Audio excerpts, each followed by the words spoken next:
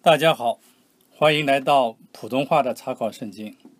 它是每周一次用圣经答案来回答圣经问题的播客。我将不会在这阐述自己的观点，而是教导圣经所说的。本周这一集，我们的主题是什么是诱惑？约翰一书第四章第四章啊第三章第四节说，罪是违背了神的法。经常的。我们在布道或者文章中着重讲它的结果，什么是对的，而忽视了讨论导致罪它的开端——诱惑的认识。诱惑是你做坏事的诱惑物，或者怂恿你做坏事。注意，诱惑本身它不是罪，但是如果我们顺从了它，它可以引导我们犯罪。不要因为诱惑不是有罪的。就意味着我们应该考验一下自己，能面对多少的诱惑而不犯罪。马太福音第五章第二十九到三十节，耶稣教导我们逃避和消除诱惑。这个特别的经文不是教我们为了避免诱惑而弄残自己的身体，而是告诉我们应当尽我们所能去避免诱惑。为什么呢？格林多前书第十章第十二节说得好。所以，自己以为站得稳的，需要谨慎，免得跌倒。为什么要有意的把自己置身于有可能受诱惑、违背神的这样的境地中呢？雅各告诉我们，诱惑可以带来欢乐。见雅各书第一章二至四节。这是经常这个这句话经常用来错误的用来宣讲我们。需要考验我们的信念，看看我们可以坚持到哪一步而不犯罪。正如我们刚刚看到的，这不是圣经所教导的。看看圣经有关诱惑以及罪的技术，我们就可以清楚的知道这一点。撒母耳记下十一章、十二章、十五到十八节，大卫由于八十八的诱惑而犯罪。这个诱惑带来了快乐吗？不，通过阅读，我们知道它带来的是通奸和最后的谋杀。那么雅各说的诱惑带来快乐是什么意思呢？他的意思是，当诱惑被抵挡和战胜时，会带来快乐。耶稣也被试探，但没有犯罪。像我们一样，耶稣在各个方面都受到了诱惑，但他没有屈服，是我们效法的榜样。当我们受到诱惑时，我们不必犯罪。那么，我们怎么做到面对诱惑而不犯罪呢？我们可以祷告，借马太福音第六章十三节，我们可以跟随耶稣所讲的重温经文，借马太福音第四节，呃，第四章十一到十一到十一节。你有没有注意到，每次耶稣遭到诱惑时，他为了抵抗魔鬼，就引用了经文呢？经文是我们用于战胜罪的最好的武器。它不仅告诉我们什么是罪，还教导我们怎样去战胜罪。战胜诱惑可以引向快乐，屈服于诱惑引向的是悲伤。没有悔改的罪引向的是毁灭。雅各也指出，我们克服诱惑，神会给我们报偿。见雅各书第一章十二节。在这个世上，耶稣忍受了许多的诱惑，但是直到定十字架前，他都没有回到天国。他不能只做了一半就早早的回到天家，他必须忍受所有的诱惑苦难。一旦他完成了，他就回到了天家，尽得荣耀。将使徒行传第一章第九节，这也适用于我们。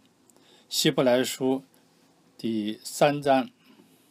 第十二、十五节中指出，我们只有在忍受了世上的生生命之后、生活之后，包括苦难，才能享受到天国的报偿。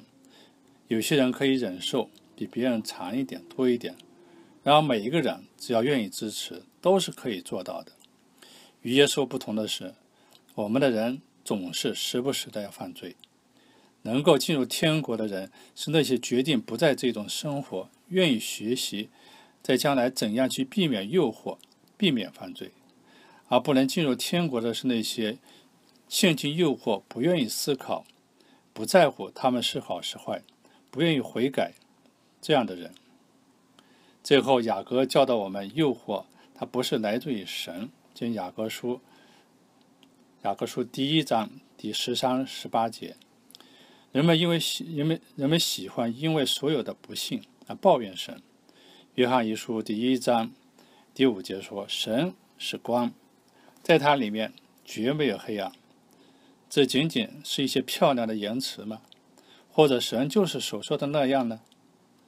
人们的反应是。圣经里有大量讲到神用大洪水摧摧毁整个世界，他还给带给埃及人，呃十大瘟疫，他给以色列的子孙在荒野里流浪了四十年，很多次他派遣军队摧毁了一个又一个民族。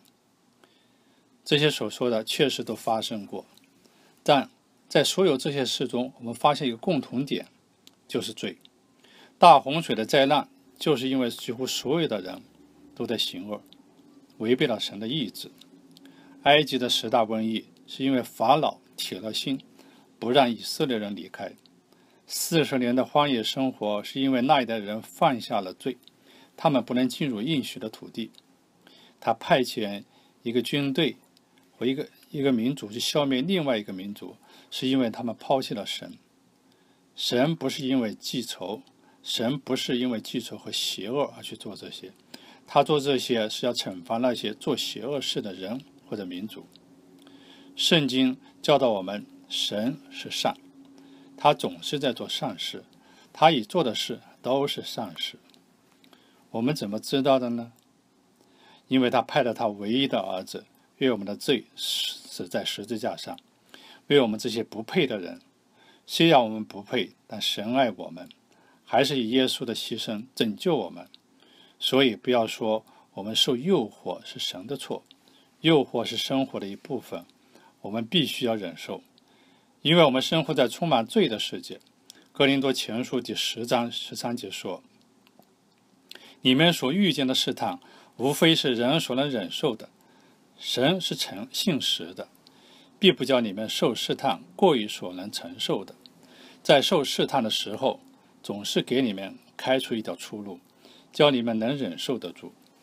神给我们能力和指导，只要我们去做，我们就可以忍受和战胜这些诱惑，到达神所应许的天家，与他在一起。关于救赎，圣经说只有一位能救我们。见使徒行传第四章十二节。你有没有顺从神做圣经中所要求的事情呢？如果你做到了，那为了能得到去天堂的许可，继续做下去。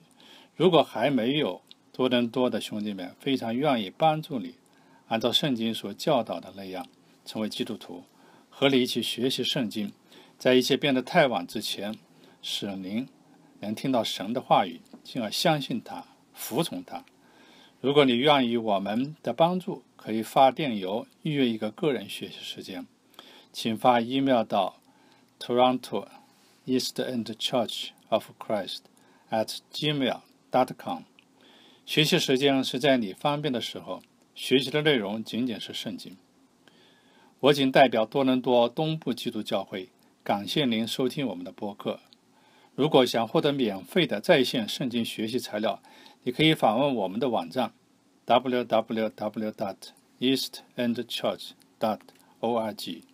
在这个网站，你还可以找到更多的博客，以及我们的侍奉礼拜及时的网络直播的链接。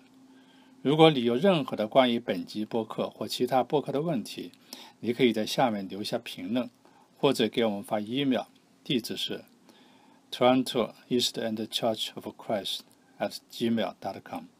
请加入我们的圣经学习和侍奉。如主愿意，在下一集我们继续讨论神的道理。和其他的主题，再见！祝你今天过得很棒。